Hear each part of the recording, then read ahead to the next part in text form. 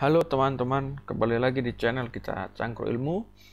Nah, kemarin kita telah membahas fisika kelas 10 SMA atau kelas 1 SMA mengenai satuan. Hari ini kita ingin melanjutkan dengan buku yang sama dari Bapak Joko Sumarsono, buku BSE atau buku sekolah elektronik. Kemarin kita telah membahas bab 1, besaran dan satuan. Hari ini kita ingin membahas bab 2 Oke.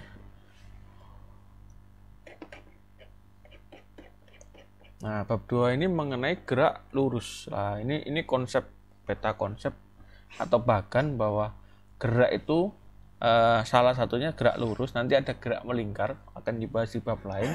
Nah, gerak lurus ini yang menjadi uh, keywordnya istilahnya atau kata kuncinya atau beberapa acuannya yang harus diperhatikan adalah titik acuan yaitu titik mula-mula. Lalu jarak ada gerak maka ada perpindahan ada jarak. Nah seperti itu. Nah titik tadi jarak dan perpindahan ini nantinya akan menurunkan atau menghasilkan suatu kelajuan atau kecepatan. Jadi kita berpindah pasti ada eh, maaf kita bergerak maka kita berpindah tentu kita mengalami sebuah kecepatan dan kelajuan. Nah, nanti ada kelajuan tetap sehingga menjadi gerak lurus beraturan atau kelajuan dan kecepatan yang berubah atau mengalami percepatan sehingga akan menjadi gerak lurus berubah beraturan. Kelajuan sendiri itu ada kelajuan rata-rata, kecepatan rata-rata, dan kecepatan sesaat. Apa bedanya kelajuan, kecepatan, dan percepatan? Nah, percepatan sendiri juga ada percepatan rata-rata, ada percepatan sesaat. Di mana percepatan yang tetap artinya uh, percepatannya konstan pada waktu tertentu. Nah, dia akan menghasilkan gerak lurus berubah beraturan tadi. Gerak lurus berubah beraturan sendiri nantinya akan menjadi gerak lurus jatuh bebas. Nah, seperti kisah Newton ketika sebuah apel jatuh itu kan contoh gerak jatuh bebas lalu ada gerak vertikal ke atas ini misalkan kita melempar sebuah bola seperti itu. Nah itu nah, contoh dari percepatan itu ketika kita naik motor kita uh, menaikkan gasnya. Menaik artinya menaikkan kecepatannya. Lah itu contoh percepatan. Nah ini kita akan bahas uh, satu persatu. Ini contoh yang benda yang benda atau alat transportasi yang sering mengalami gerak. Nanti detailnya bisa dibaca sendiri. Kita akan coba agak cepat karena materinya cukup banyak. Jadi kedudukan di sini tadi yang di uh, titik acuan itu bisa dianggap sebagai kedudukan lalu ada jarak dan perpindahan.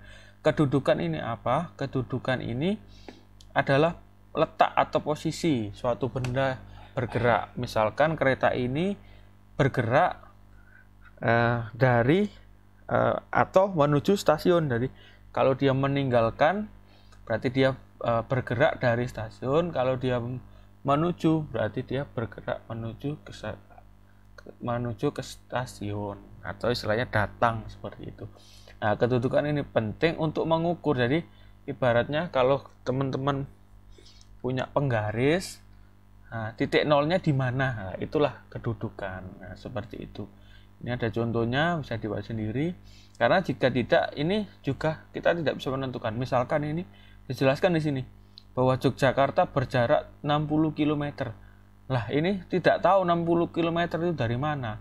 Apa dari pantai selatan, apa dari Gunung Kidul, apa dari Solo lah. Makanya itu penting sebuah titik acuan. Nah, titik acuan ini juga uh, biasa digambarkan melalui koordinat Kartesius. Nah, di sini ada absis dan ordinat, ada sumbu X dan sumbu Y. Ini untuk mempermudah. Nah, ini di sini dicontohkan. Misalkan seseorang ini berjalan ke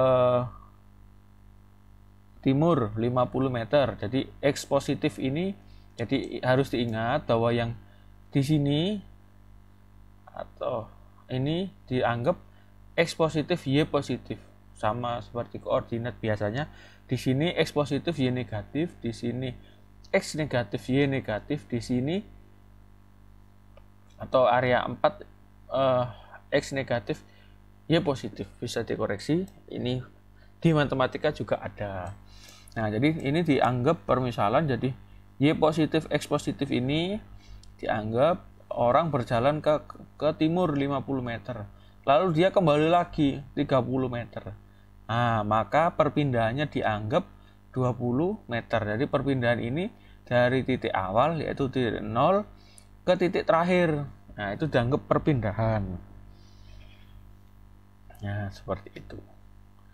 Nah, ini dicontohkan. Tapi kalau kita meng menghitung jarak total ya harus dari awal. Dari semua gerak maksud kami. Dari semua lintasan atau semua yang dilalui. Jadi kalau disebut jarak total itu dari titik awal titik 0 ini bergerak 50 lalu bergerak lagi 30 itu disebut jarak total. Tapi kalau perpindahan hanya melihat jarak awal dan jarak akhir. Nah, seperti itu. Nah, ini Nah, biasa disimbolkan juga sebagai delta X. Delta X itu berarti titik akhir atau X2 dikurangi titik awal X1. Nah, nah jadi tadi kan kayak ini. Ini di sini 0, di sini 20. Nah, karena yang diminta berapa perpindahannya, berarti kan X2-nya 20, X1-nya 0-nya tadi ya, sama dengan 20. Atau dicontohkan ini, Misalkan dia bergerak dari titik 10 ke titik 30. Maka X1 sama dengan 10, X2 sama dengan 30. Maka perpindahannya adalah 30 min 10 atau 20. Ya ini sama, ini contoh. Jadi ya ini hanya arah. Jadi kalau ke kanan dianggap positif, ke kiri dianggap negatif atau perlawanan. Nah, seperti itu. Oke, itu itu contoh dari titik acuan jadi uh, sekali lagi kedudukan atau titik acuan itu titik awalnya titik nolnya atau titik permulaan jadi kadang tidak tidak titik nol tapi sudah seperti ini titik plus 10 lah berarti ini sebagai titik kedudukan atau titik awalan. Lalu uh, di sini ada jarak ya tadi. Jarak itu ya semua lintasannya ini. Walaupun dia muter ke timur ke barat ke timur ke barat ke timur ke barat kayak orang jalan di tempat itu ya tetap nanti jaraknya dihitung semua. Tapi kalau perpindahan ya cuma awal dan akhir. Nah, itu bedanya Oke, selanjutnya kita bahas kelajuan dan kecepatan. Jadi kelajuan dan kecepatan ini pada dasarnya mirip. Pada dasarnya mirip, rumus rumusnya mirip. Nah, di sini disebut nah disebutkan ini uh, rumusnya kelajuan rata-rata atau laju rata-rata itu V sama dengan S per T. Tapi kalau kecepatan rata-rata itu sama dengan delta S per delta T. Apa bedanya? Nah ini sebenarnya simbol yang memudahkan saja. Jadi sebenarnya sama, pada prinsipnya sama.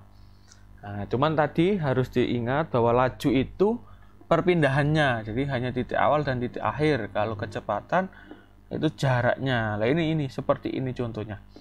Jadi ini langsung saya lihat contohnya uh, di mana seorang berjalan 50 meter ke timur yang tadi kemudian ke barat 30 meter.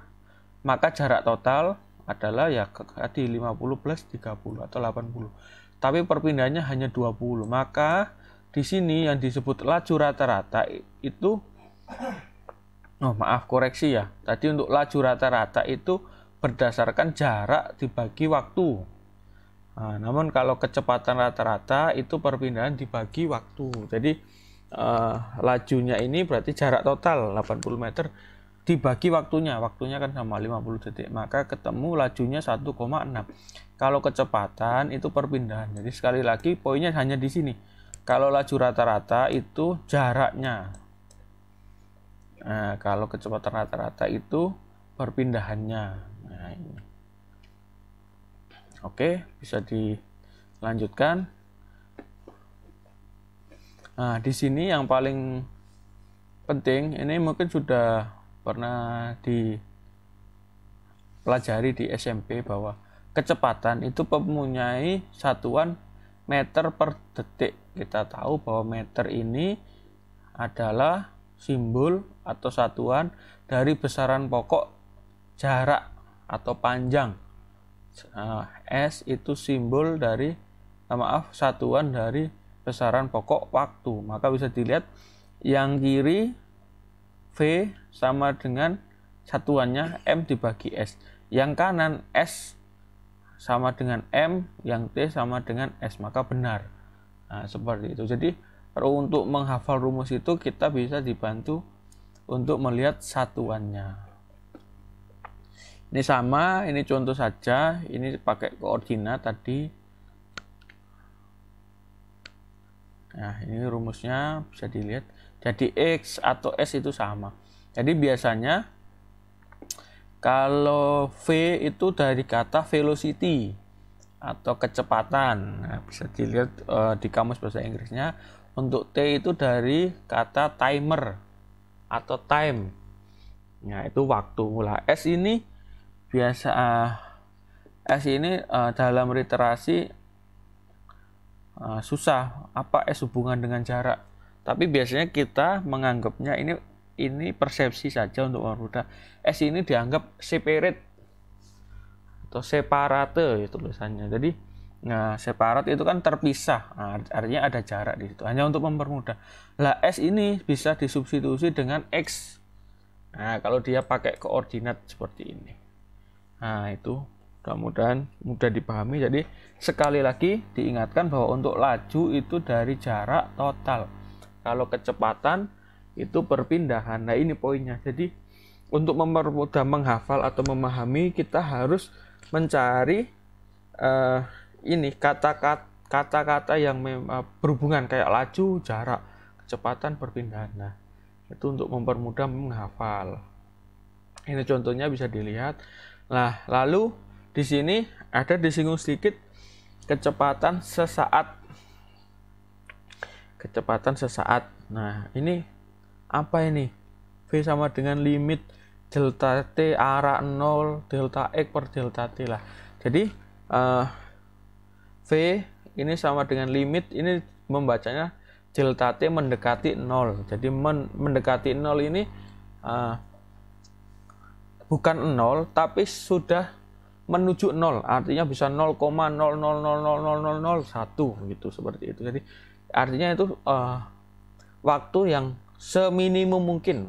Atau atau berat kalau kita pakai alat ukur ya detiknya itu ada mungkin sampai 0,1 atau sekian gitu.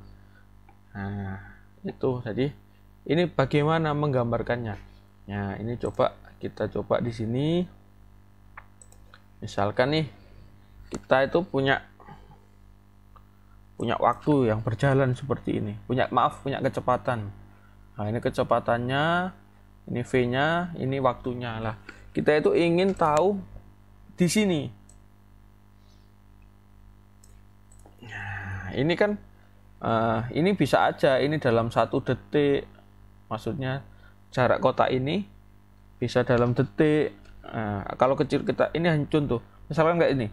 Ini kalau secara uh, ini ukuran 99, dia kelihatan 4 kotak. Nah, tapi kalau dikecilkan lagi, dia menjadi berapa? 6 kali 6, 36 kotak. Dikecilkan lagi, kecil lagi. Lah, itulah yang dimaksud limit mendekati 0. Jadi se sekecil mungkin. Nah, itu. Nah, biar mudah kita tandai di sini. Kita coba tandai di sini. Ini ya, ini ya. Nah, ini kan misalkan ini coba dikasih angka. Di sini angkanya satu ini ilustrasi untuk menggambarkan. Ini biasanya agak susah membayangkan limit karena memang ini uh, bukan konsumsi untuk SMA, hanya untuk menggambarkan. Nah, biasanya ini dipakai kalau teman-teman sudah di jenjang yang lebih tinggi atau paling tidak kelas 2. Tapi kalau kelas 1 tidak terlalu banyak dibahas. Ini hanya untuk menggambarkan. Nah, ini saya coba. Ini sebentar ini. Ah kita itu pengen tahu kecepatannya berapa di sini. Kasih warna beda. Misalkan pen nah kita itu ingin tahu kecepatannya di sini satu detik. Oh oke okay, gampang. Nah kita kita kecilkan. Kalau tadi kalau ini satu detik berarti ini setengah detik. Kita kecilkan lagi di sini. Nah ini tadi setengah detik di sini. Ini di sini 0,25 detik. Kita kecilkan lagi. Nah ini tadi di sini. Nah tadi di sini. 0,5 detik. Kalau ke sini 0,4 ini 0,3 nah yang ini ini 0,2 berarti ini 0,25 kita kecilkan lagi. Nah kan kecil makin kecil. Lah itulah yang disebut limit mendekati 0 nah, mudah-mudahan paham. Ini uh, hanya untuk knowledge saja untuk pengetahuan dari bahasa detail. Jadi ini ini nanti di jenjang lebih tinggi. Jadi disimbolkan delta x per maaf v sama dengan limit delta t mendekati 0 delta x per delta t. Jadi nanti ada jaraknya jarak awal jarak akhir dikurangi jarak awal dibagi waktu akhir dikurangi waktu awal. Sama rumusnya hanya dia mencari nilai paling kecil lah. Nanti karena ada hubungannya sama integral maupun diferensial. Nah, nanti bisa dipelajari di matematika. Oke next lanjut. Nah di sini ini udah membahas percepatan lah. Saya ingin mencontohkan sedikit Nah, misalkan ini untuk memberikan uh, gambaran. Nah, jadi uh, sederhananya kita punya satu titik satu dan titik dua. Kita kita misalkan ini Jombang, ini Surabaya. Uh, jaraknya ini jarak Jombang Surabaya misalkan 70 km. Nah, ini sebagai S-nya. Kita tulis saja di sini jarak lah kita butuh waktu 2 jam. Nah maka berapa V nya ya seperti tadi. 70 dibagi 2 jam sama dengan 35 km per jam. Nah, nah ini pertanyaannya kalau mau merubah uh, menjadi meter per detik.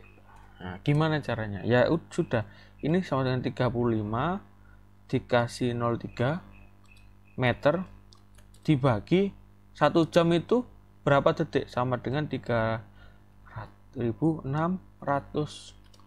detik. Nah, ini nanti ketemu nilainya. Coba dihitung sendiri jawabannya. Lah seperti itu cara merubah.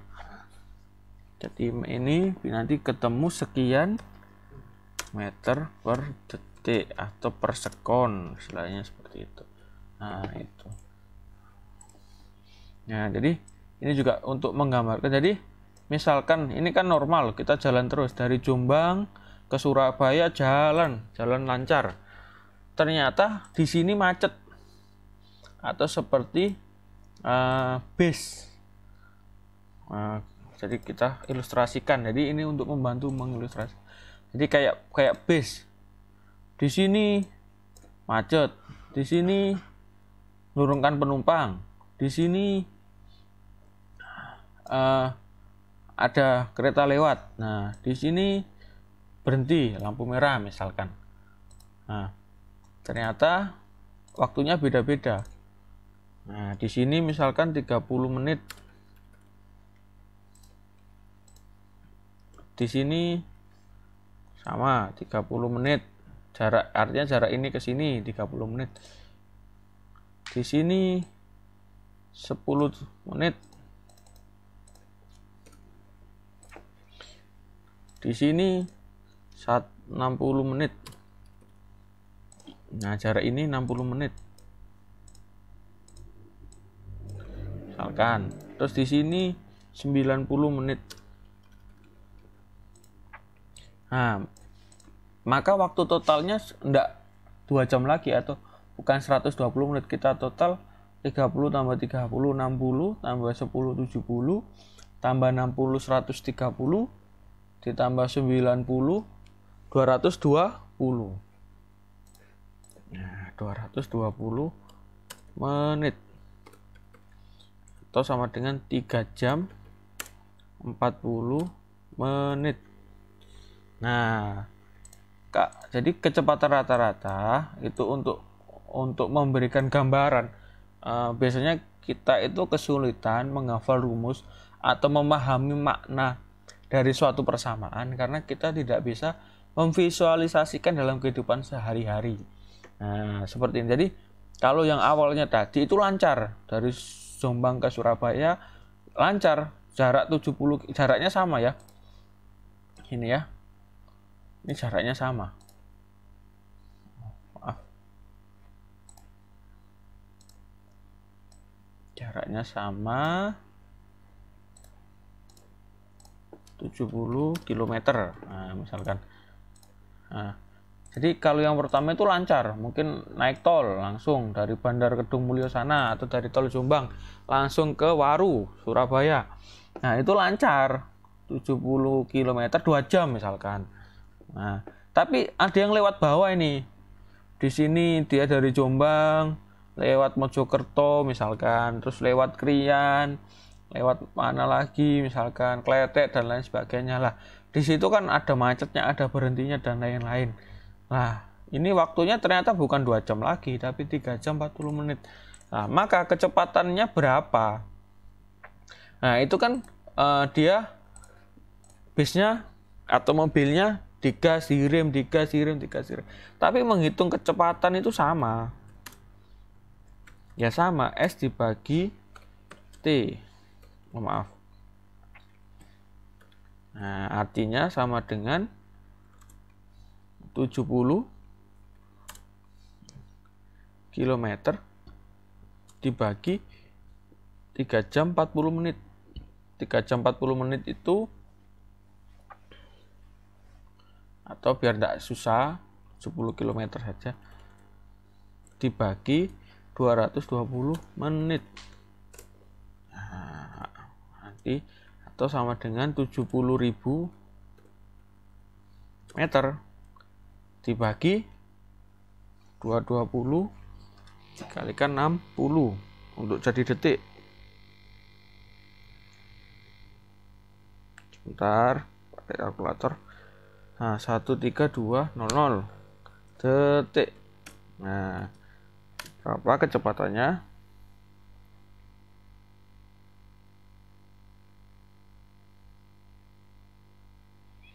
Jawabannya 5,3 meter per detik. Nah kalau yang ini berapa tadi? Nah ini jawabannya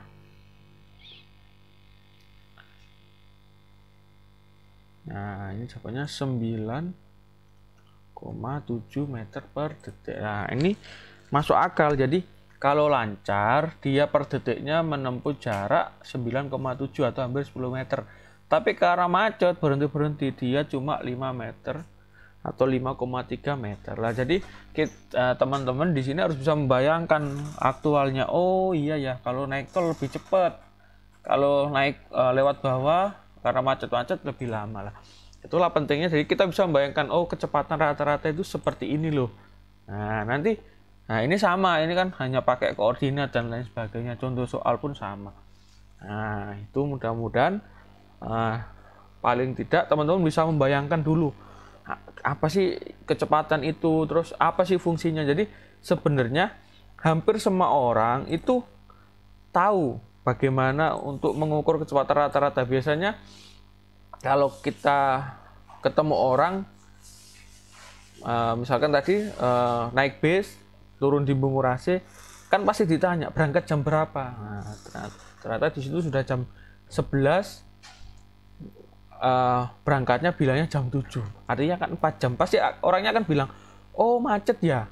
Oh ada kecelakaan ya? Lah karena orang sudah bisa memperhitungkan oh biasanya itu kalau Jombang Surabaya paling enggak satu jam setengah atau dua jam. Ini sampai 4 jam. Nah, artinya ada sesuatu. Oh bener ada kecelakaan. Nah itulah fungsinya. Di sini teman-teman mempelajari. Jadi semua fenomena di kehidupan kita lingkungan kita itu pasti berhubungan sama fisika. Nah, tapi kadang orang tidak sadar bahwa itu yang dibahas itu fisika. Nah,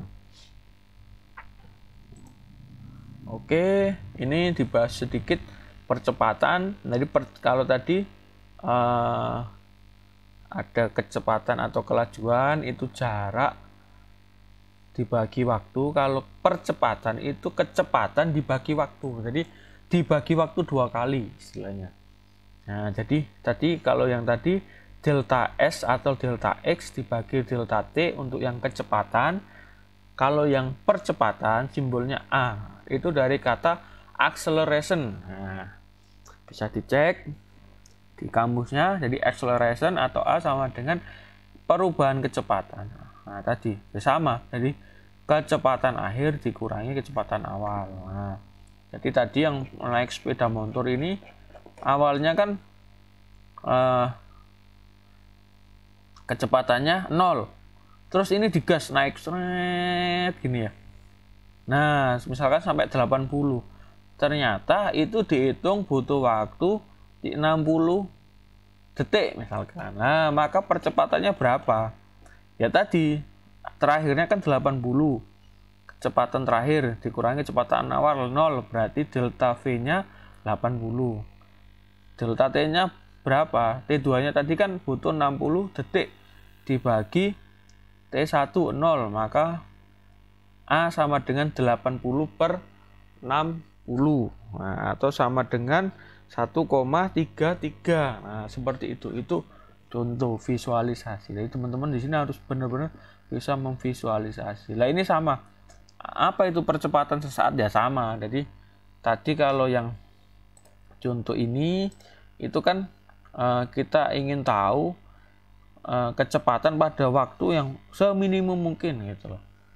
Nah, kalau yang ini sama. Kita ingin tahu percepatan pada waktu yang yang bisa diukur atau seminimum sama. Nah, oke, jadi prinsipnya itu jadi uh, terkadang kalau kita kesulitan memahami kita uh, mencari dulu visualisasi persamaan ini. Nah, seperti apa kayak tadi. Hmm. Nah, ini sama juga ini. Ini contohnya orang naik sepeda balap. Nah, dia kan di, up, uh, ketika start thread langsung di di apa istilahnya? Di kayu sepedanya. Cepet semakin lama semakin cepet cepet cepet cepet. Lah itu sama. Itu juga contoh percepatan. Sama kayak kita naik pesawat. Nah mungkin teman-teman hampir semua sudah pernah naik pesawat. Jadi waktu start pesawat itu uh, misalkan di sini dia ke sini ke sini semakin cepat uh, sebelum akhirnya take off atau terbang. Lah itu juga contoh percepatan. Oke kita lanjut. Tadi ya, kita sudah dapat titik acuan jarak perpindahan kecepatan dan percepatan. Maka ini aplikasinya yaitu gerak lurus beraturan ya. Jadi memahami gerak lurus beraturan itu artinya teratur. Nah pokoknya beraturan itu artinya teratur. Artinya artinya hanya tetap.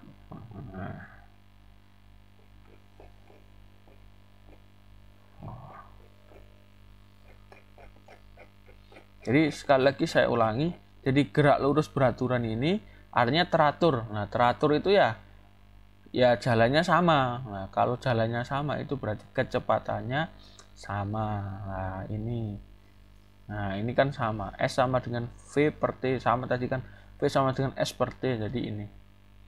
Nah, jadi kalau diibaratkan bentuk grafik, itu grafiknya seperti ini. Jadi ini ini e, membayangkannya e, jadi gini. Kita di titik nol, kita ingin bergerak ke sini.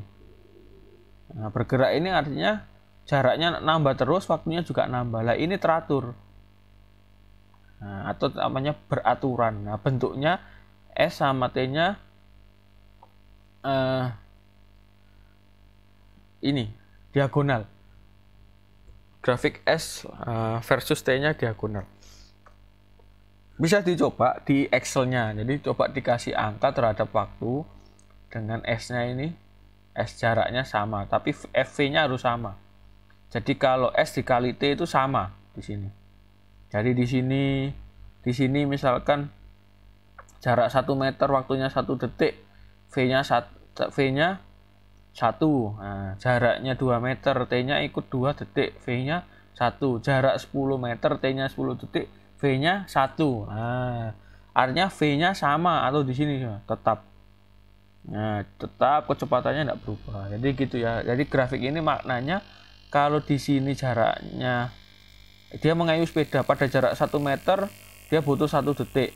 Pada jarak 2 meter dia butuh 2 detik. Pada jarak 10 meter dia butuh 10 detik. Kalau dihitung di mana V sama dengan S per T maka di saat di jarak 1 meter ya dibagi 1 detik jarak 2 meter dibagi 2 detik jarak 10 meter dibagi 10 detik V nya sama nah ini contohnya nah ini contohnya nanti bisa dilihat sendiri Oke, itu contohnya. Nah, ini kalau gerak lurus berubah beraturan, namanya berubah berarti uh, dia gerakannya berubah. Nah, berubah ini maksudnya mengalami percepatan atau akselerasi. Nah, ini contohnya. Jadi ini hanya merefresh di mana V sama dengan delta X atau X per X0. Jadi sama X2 min X1 dengan X min X0, X 0 juga sama nah, jadi kadang kita bingung apa bedanya X1 X2 X0 X saja lah ini dijelaskan bahwa ini hanya mencontohkan waktu jadi 0 itu menganggap waktu pada titik 0 atau T sama dengan 0 nah sebut sedangkan T2 ini digantikan dengan T saja ini. Nah jadi X2 ini jadi X X satunya jadi x0 nah pada titik 0 jadi kalau gerak lurus beraturan maupun gerak lurus berubah beraturan titik acuannya pasti 0 nah begitu nah ini mengulang. Nah di sini kita tahu bahwa A akselerasi itu adalah kecepatan akhir dikurangi kecepatan awal atau V min V0 dibagi waktu nah jika dikalikan silang maka A dikali T atau T-nya dipindah ke kiri, nah jadinya seperti ini. AT sama dengan V min V0. Nah, rumus ini mencari kecepatan akhir. Nah, maka V sama dengan kecepatan awal ditambah perubahan kecepatan pada waktu tertentu atau AT. Nah, di sini rumusnya. Jadi ini hanya mengganti T-nya digeser. Nah, ini untuk mengetahui berapa kecepatan akhirnya jika suatu soal itu diketahui kecepatan awal dan percepatannya dan waktunya. Nah, ini nanti V ini dimasukkan ke rumus ini. Nah, jadi tadi V sama dengan X akhir min X awal atau X min X0 dibagi waktu. T-nya dikalikan ke kiri. Nah, maka jadinya VT sama dengan X min X0 atau X sama dengan X0 plus VT. VT. Nah, lalu V ini diganti lagi. Nah, diganti dengan apa? Nah,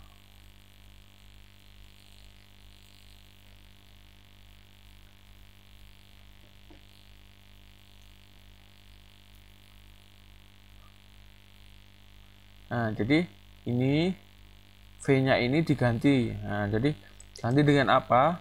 V itu karena ini rata-rata bisa dianggap V0 plus V per 2 nah maka diganti ini. V yang atau ini V min me, mean namanya. V, v rata-rata atau ada sim, ada garisnya di atasnya ada kopiannya. Diganti V nya menjadi V0 plus V per 2 nah V ini yang yang terakhir diganti lagi dengan ini Nah, maka jadilah V0 plus V0 plus AT per 2 kali T. Lah ini dikeluarkan. Ini kan menjadi 2 V0. Nah, dibagi 2 maka sama dengan V0 T. T-nya jangan lupa. Yang sini tinggal A dibagi 2 kali T kuadrat. Kalau ini ada T, ini ada T. Nah. Begitu. Nah, ini kalau nanti teman-teman bisa integral atau diferensial ini mudah. Memahami ini mudah. Tapi untuk saat ini uh, kita pahami seperti ini saja. Jadi kita ulangi bahwa V sama dengan tit, uh, jarak akhir dikurangi jarak awal dibagi waktu disubstit, uh, disubstitusi atau dikalikan silang istilahnya maka didapatkan X sama dengan X0 plus VT lah V ini karena V rata-rata itu sama dengan V0 per V per 2 jadi dianggap rata-rata maka bisa dibagi dua. Nah, jadi kalau kita punya kecepatan awal 5 kecepatan akhir 10 berapa rata-ratanya? Ya 5 plus 10 bagi 2 ya, seperti itu ini untuk mempermudah didapatkanlah seperti ini. Nah ini kalau diilustrasikan dalam bentuk grafik ini di mana ini sebagai X atau jaraknya yang sumbu X ini atau bawah ini nah, ini dianggap sebagai waktunya maka dia didapatkan melengkung. Nah jadi ini harus dipahami oleh teman-teman bedanya apa? Kalau yang ini ini S itu sama dengan V kali T atau T nya pangkat 1 maka grafiknya adalah seperti ini lurus atau diagonal. Namun untuk yang ini ini X atau S tadi itu T nya kuadrat. Maka bentuknya seperti ini atau parabola. Nah, harus diingat. Jadi teman-teman kalau menggambar atau melihat gambar sudah tahu oh ini parabola ini pasti kuadrat. Nah seperti itu. Oh yang tadi bukan parabola diagonal. Nah berarti dia pangkat satu. Jadi jangan bingung sama X dan S karena itu maknanya sama. Ini hanya permisalan saja. Nah untuk mempermudah menggambarkan. Jadi jangan sekali-kali jangan bingung. X itu bisa diganti S. Nah,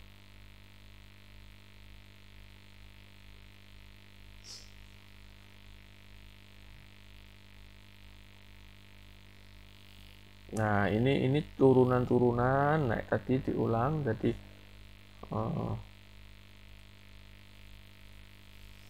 ini sama. Ini cara menurunkannya bisa dicoba sendiri oleh teman-teman. Jadi sekali lagi harus dilihat satuannya. Seperti ini. X ini adalah uh, jarak. Satuannya adalah meter. X0 jarak. Satuannya meter. Benar ditambah V0T. V0 adalah meter per detik dikali detik. Maka VOT satuannya M per S dikali S atau sama dengan M. Nah, untuk A itu satuannya M per S kuadrat. Nah, karena A dikali T kuadrat, maka sama dengan M per S kuadrat dikali S kuadrat. Nah, maka satuannya adalah M. Jadi, maksudnya bahwa ini ini ini. Nah ini VOT ini satuannya meter sama. Kayak yang kiri jadi yang kanan sama dengan kiri. Yang setengah AT ini juga sama. Meter maka sama. Nah itu berarti rumusnya sudah benar. Nah ini nanti dicoba diturunkan sendiri seperti ini.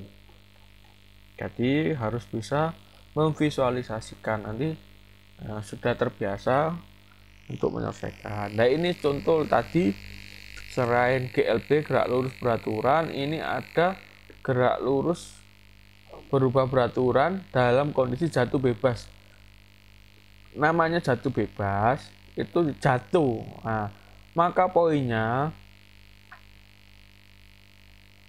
nah ini ada postulat dari Bapak Galileo pada suatu lokasi tertentu di bumi dengan titik tidak adanya hambatan udara jadi udaranya tuh dianggap tidak mengganggu. Beda sama air. Kalau kita melempar sesuatu ke air kan jatuhnya agak lama. Lah itu disebut hambatan. Tapi kalau udara dianggap bebas hambatan. Nah, atau kecil sekali hambatannya. Nah maka semua benda jatuh dengan percepatan konstan yang sama. Percepatan ini apa? Ya percepatan gravitasi jadi poinnya gerak jatuh bebas itu V0-nya 0 atau kecepatan awalnya 0. Lah poinnya itu. Nah, ini pakai itu tadi. Nah, seperti contoh ini. Nah, ini contohnya. Nah, ini Doni melempar bola ke bawah. Setinggi 36,7. Tepat pada saat tingginya 160 cm. Kecepatannya ini berapa jarak?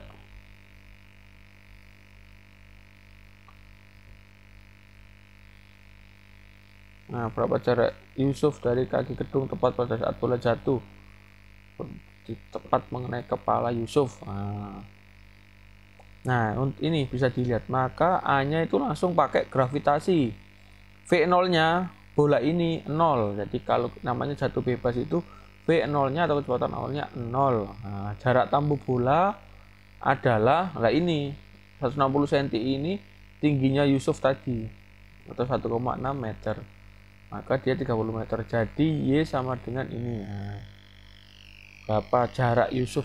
Jarak lintasannya jadi seperti soal ini karena dia cuma nanya berapa jarak. Nah, sekali lagi jarak. Maka kecepatannya Yusuf itu tidak dipakai.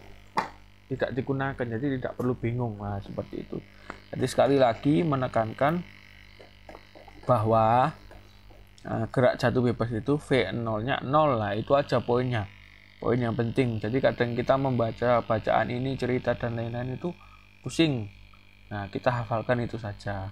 Nah, tabel ini itu untuk mengetahui percepatan gravitasi di masing-masing lokasi. Seperti di New York, tingginya 0. 0 ini dari permukaan laut, jadi dia sama. Itu G-nya 9,803. Tapi di San Francisco lebih tinggi 100 meter. 9,80. Denver satu, tingginya 1600.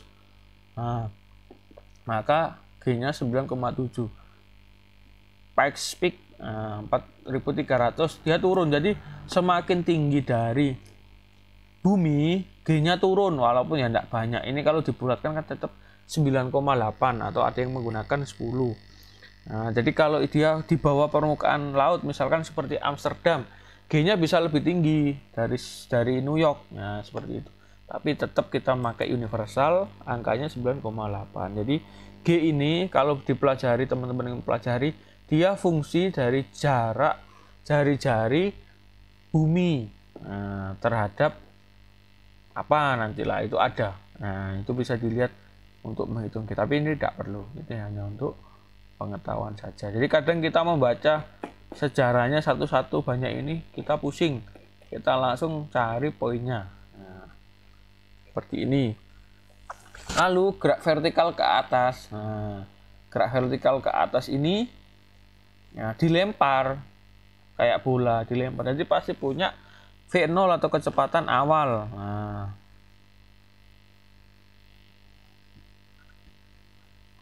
Nah, kalau tadi kan rumusnya uh,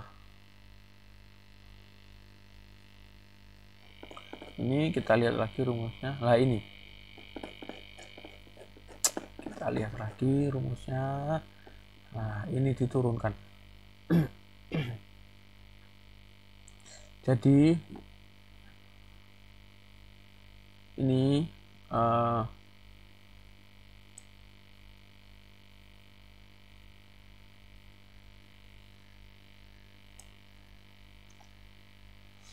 Jadi kalau kita melihat ini diturunkan X ini sama dengan X0 per VT. Nah VT nya tadi durekan sama kayak jadi pakai di atas maksud kami V itu sama dengan kecepatan rata-rata tadi sehingga diperolehlah uh,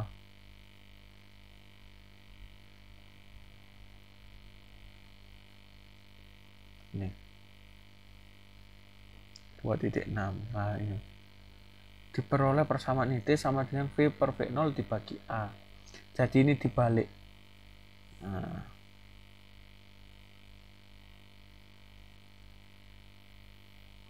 Jadi ini kalau dilihat satuannya V sama dengan M per S. A sama dengan M per S kuadrat. Nah, maka satuannya adalah waktu. Jadi yang ini satuannya nanti adalah detik.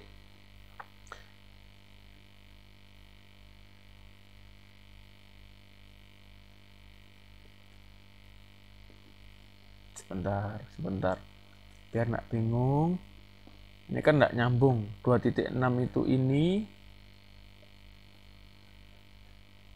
Oh ini. Nah ini ini ini, ini maksud kami. V per V0 sama V sama dengan V0 plus AT nah di sini dilihat. Maka di sini T sama dengan tadi kan V sama dengan V0 plus AT nah ini diganti. Nah V0 nya dipindah ke V. Ini V sama dengan V0 plus AT V0 nya dipindah ke kiri lalu A nya kalau A nya tinggal dibagi. Nah, atau dibagi A istilahnya. Nah maka T sama dengan V per V0 nah ini diganti di substitusi di sini. Lah ketemulah ini. Persamaan V kuadrat atau kecepatan akhir kuadrat sama dengan kecepatan awal kuadrat ditambah 2A delta X. Nah, delta X ini. Nah, delta X ini uh, posisi air dikurangi posisi awal. Nah, jadilah persamaan ini. Nah, jadi kita persamaannya dibahas satu-satu untuk tahu fungsinya apa. Tadi yang ini sudah tahu fungsinya, ini tahu fungsinya, ini tahu fungsinya. Yang ini baru tahu fungsinya. Nah, penggunaan yang V kuadrat plus V0 kuadrat ditambah 2A X atau A delta X itu untuk ini. Jadi ini misalkan tadi untuk yang ini kan V kuadrat sama dengan V0 kuadrat plus 2A X min X0. Nah diganti. A-nya diganti dengan gravitasi. Sama yang ini juga semua. Jadi kalau membahas gerak jatuh bebas A-nya diganti gravitasi nah karena tadi uh, dikali X min X0 lah karena ini ketinggian maka bisa diganti dengan Y di mana ini dianggap uh, Y0 atau X0 ini dianggap uh, X2 atau Y2 nah seperti itu jadi kalau ketinggian X nya diganti Y seperti itu aja Nah, sehingga didapatlah persamaan ini 2 GY. Hmm. Maka di sini nah ini kan gerak vertikal ke atas. Ini pakai persamaan tadi yang ini. Yang nomor 3. Namun karena dia ke atas, dia menjadi negatif. Kenapa? Karena gravitasi itu kan ke bawah. Nah, dia dilempar ke atas, dia melawan gravitasi, maka dia minus nah persamaan menjadi V kuadrat sama dengan V0 kuadrat per 2 eh min maaf min 2 GY nah, kalau yang awalnya kan V kuadrat sama dengan V0 kuadrat plus 2 GY lah ini jadi minus. Nah ini dihitung. Di sini fungsinya. Kenapa mau ini jadi 0 lah? Ini di, di pada kondisi Y max. Jadi bola itu pada kecepatan ter, uh, maaf posisi tertinggi itu seolah-olah untuk sekian detik tadi untuk delta t mendekati nol tadi itu berhenti. Nah, seperti itu. Jadi pada keting ada berhenti sekian detik dia baru jatuh lagi. Jadi bola ini dilempar ke atas berhenti sekian detik baru jatuh. Lah itulah kenapa V2 nya atau V akhir pada Y max itu nol. Nah, jadi ini hanya berlaku untuk ketinggian maksimum. Kalau di sini, apakah berlaku? Jawabannya tidak, pakai rumus biasa. Nah, maka Y max ini sama dengan V0 kuadrat per 2G. Nah, dari sini. Nah, ini dipindah ke kanan. Nah, dapatlah Y sama dengan ini. Nah, seperti itu. Nah, ini terus lama benda di udara ya tadi dua kali T max T max itu mana? Ya ini T pada ketinggian maksimal. Jadi bola tadi kan dilempar ke atas. Nah di posisi tertinggi ini atau Y max itu dianggap T max. Terus dia akan jatuh lagi. Nah jatuh lagi dianggap waktunya sama naik sama turun sama. Kenapa? Karena pas naik itu dia mengalami percepatan atau perlambatan gravitasi. Karena naik ke bawahnya percepatan gravitasi. Maka dianggap TC sama dengan 2T max nah, seperti ini jadi untuk T max tadi kita pakai persamaan ini pakai persamaan yang mana nah, sama dengan V0 per min GT. Jadi kalau yang ini, sekali lagi, kalau yang ini untuk mencari Y-nya, atau sebenarnya tadi untuk mencari S-nya atau X-nya, tapi karena ini tinggi maka Y-nya. Kita pakai persamaan ini.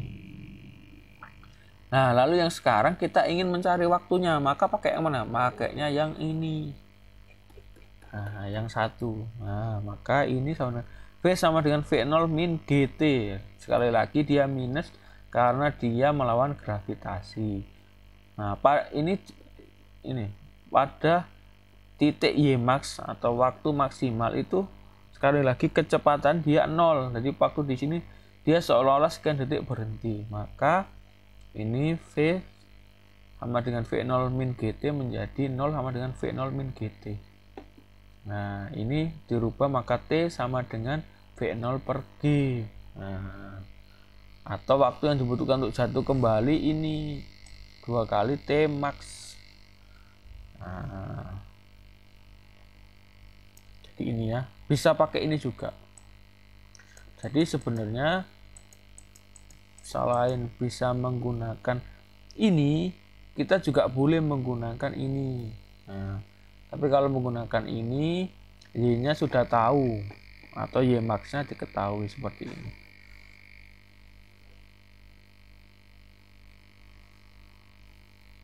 Oke mudah-mudahan tidak bingung bisa dicoba latihan soalnya untuk memperdalam pengetahuan. Nah demikian. Nanti jika butuh contoh soal atau identitasnya silakan komen. Nah, terima kasih atas waktunya dan perhatiannya. Ikhlas subscribe Anda halal bagi kami. Jangan lupa like, komen, dan subscribe